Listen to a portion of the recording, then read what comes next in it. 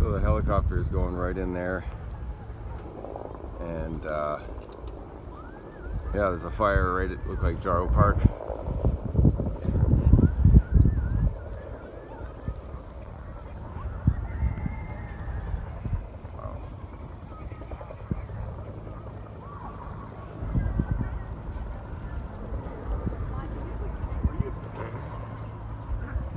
Helicopters uh,